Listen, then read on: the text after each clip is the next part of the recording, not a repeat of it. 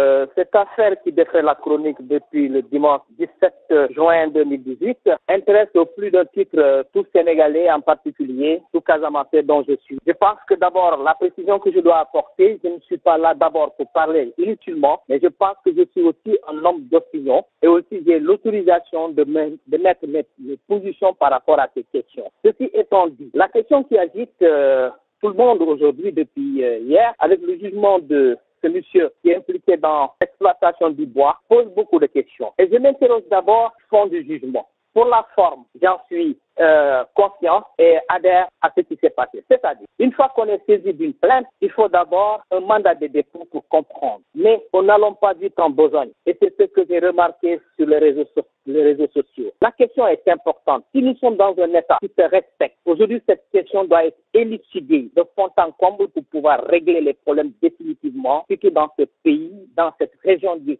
du Sénégal, en particulier la Casamance. C'est notre trésor, la forêt. Elle ne doit pas être laissée dans euh, dans, les mains de délinquants. Je le dis et je l'affirme. Je répète que cela qu'il s'agit à exploiter la forêt au moment où une interdiction formelle a été donnée, les sanctions sévères devraient être pratiquées appliqué à ces coupables. Mais bon, retenons-nous en attendant de comprendre certaines choses. Mais je pense que aussi il faut qu'on essaie de donner quelques petites explications que j'ai glanées par-ci par-là pour aider les gens à un peu comprendre qu'est-ce que c'est cette affaire de, bois. Aujourd'hui, si nous voulons comprendre, nous allons à l'article 10 du Code forestier, il faudra dire aux populations qu'ils ont des droits qui sont limités. Mais j'ai l'impression que nous, on est gâtés par la nature. On semble prendre, on ne prend pas conscience que cette forêt nous appartient. Pour nous qui sommes là aujourd'hui, mais cette forêt aussi, elle revient à des générations futures. Les déserts qu'on parle aujourd'hui n'étaient pas des déserts hier, c'était plutôt des hommes qui l'exploitent, qui l'exploitent à outrance et c'est devenu finalement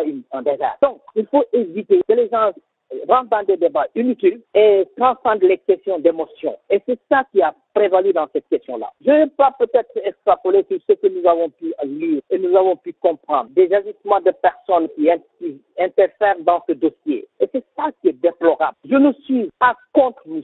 Simon, mais je suis contre les faits. Et les faits sont répréhensibles. Et les faits doivent être punis de manière sévère par les lois de notre pays. Mais euh, il a été jugé et libéré pour une liberté provisoire. C'est pour cela que j'ai dit tantôt qu'on n'a pas du temps besoin. Et la justice va aller jusqu'au fond du dossier. C'est maintenant le temps pour elle de fouiller en comble cette question. Parce que si on se réfère même euh, euh sur des articles en, des journaux en ligne, il semble que là, c'est entre la commune de Lampagne et de Sindon. Bon, il y a des droits sur la forêt, mais bien entendu, elle est donnée, ce droit n'est donné qu'aux populations riveraines à ces, à ces, à ces, à ces forêts hmm. qui doivent exercer des droits d'usage qui portent sur le ramassage du bois mort et de la paille. Mais également, ils ont le droit de récolter des fruits, des plantes alimentaires, de la gomme, etc. Mais aussi pour le bétail. C'est-à-dire qu'ils ont des, des endroits pour euh, faire parcourir leur, leur détail. Ils peuvent aussi utiliser certaines branches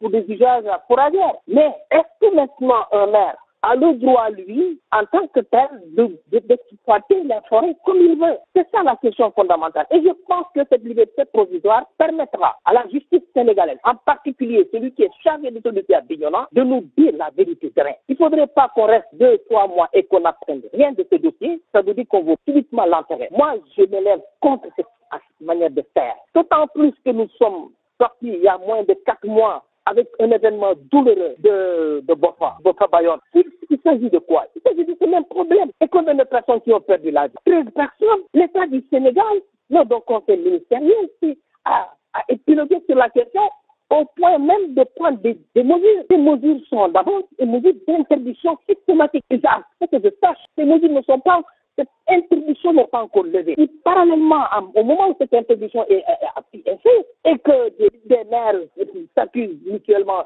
euh, renvoient la balle, il faudrait de ce côté qu'on fouille de fond en question pour qu'on comprenne quelles sont les responsabilités intrinsèques entre la, commune de Sillon et la commune de Oulampan.